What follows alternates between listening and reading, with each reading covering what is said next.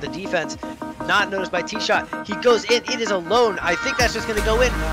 Free goal on the side of Ice Wolves. It is now 6 to 2, almost cementing Remote Control's win of this game.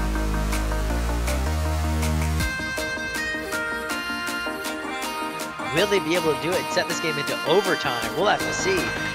11 seconds to go. USA has the ball. Ooh, and a great opportunity. Blocked by Tess I didn't see him.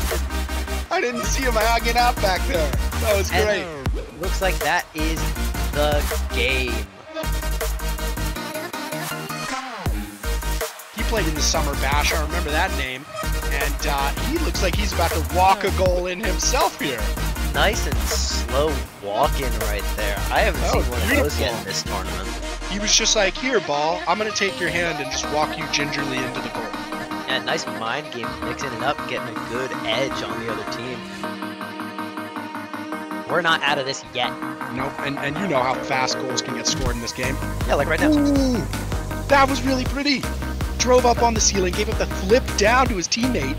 Look at that, boop. Saito thought he was in the right place, but was moving forward too much, and Ice Ah. Wolves just managed to poke it right behind him where he couldn't stop it. Uh, you need to push, but you know, the harder you push, the more you push, the uh, more open you are. And Sato Aerial just doing dribble. pretty things. And he Oh. pushes it in! That might make our District Esports League highlights. This was really beautiful. Just an aerial dribble, keeping it away from everyone, and he just traps it between himself and the backboard.